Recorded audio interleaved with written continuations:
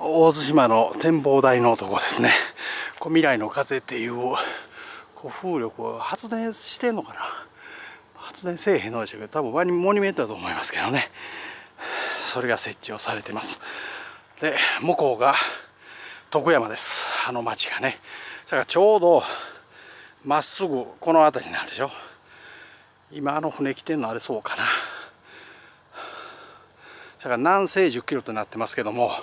大体もう直線に近いところですね。この基地がある場所はね基地というか訓練所がねある場所はそうです。でこっち側の風景は海底の見張り台のとこからお知らせをします。で西の方は豊富なんかな豊富市。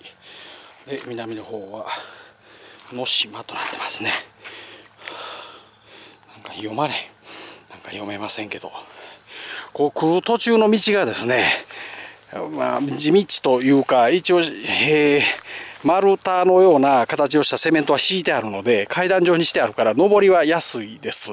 ただ 500m ぐらい記念館からは登っていただかないといけないのと、えー途中で穴掘ってるやつとかを見たんで、あれ多分獅子のはずなんですよ。で、糞は鹿の糞です。あんなんはいっぱい落ちてます。鹿は別にいいんですよ。覆ったところで外逃げるからね。ところが獅子は向かってくる可能性があるので、上がってくる人は、例えば笛を持って、笛吹きながら歩いてくるとかね。で声を出しながら歩いてくるとか何か獅子よけをしていただいた方がひょっとしたらええかも分かりません獅子はま夜に夜行性ですから夜にうろうろしますけれども昼間は寝てますけどもねどこれどこで寝とるかも分からへんしひょっとしてポッとね足音なんかで起きてくるっていう可能性もあるので、はいまあ、気をつけていただいた方がええかなと思います。